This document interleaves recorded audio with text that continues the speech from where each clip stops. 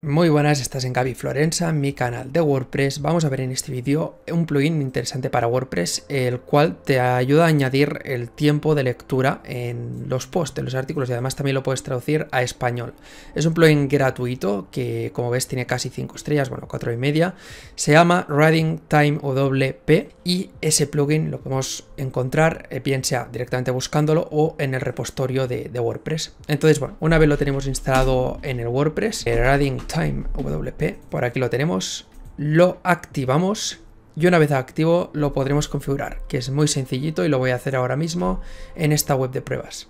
Aquí puedes ver un artículo en la página web sobre Monster One y demás y voy ahora a activarlo, ¿vale? Lo acabo de, activar, bueno, lo acabas de ver, ¿vale? Ya está activo lo que es el plugin y nada más activarlo directamente en base al idioma de mi web, como ves, ahora al reiniciar la página me añade el tiempo de lectura. Tiempo de lectura a 4 minutos. ¿En qué se basa? Bueno, ahora lo vemos.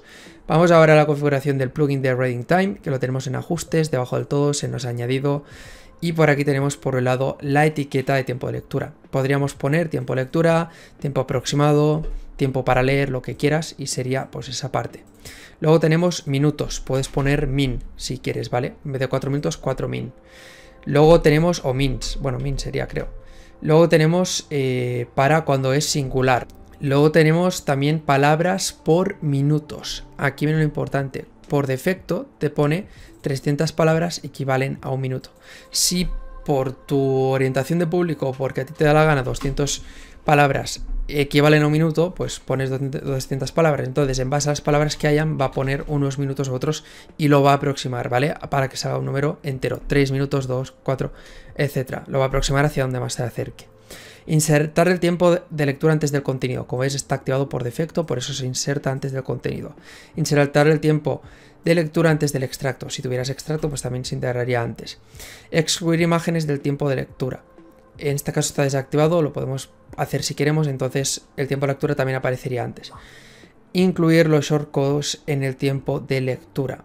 Esto si quieres, si no lo dejas ya está. Y en este caso lo tengo para que se muestre en entradas, en páginas, que no se muestre en medios, que se muestre también en páginas, plantillas, ta, ta, Yo lo voy a desactivar, solo voy a dejar en entradas, que son los posts. En páginas no me interesa.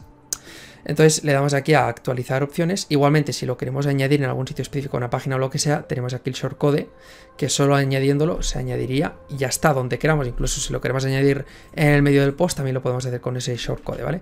Así que bueno, Voy a reiniciar la página y como ves se ha actualizado eso. Entonces igual dices, hostia, pero esto queda muy pegado, ¿no? Bueno, tenemos un pequeño truquito y es que directamente con HTML puedes modificar ese texto, es decir, es, eh, se adapta a HTML.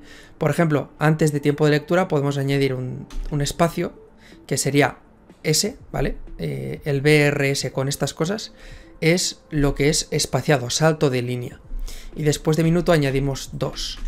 ¿Vale? Entonces si guardamos, vas a ver que ahora directamente tendremos más espacio. Solo añadiendo esto, por si lo queréis ya pillar de referencia, añadiendo salto de línea.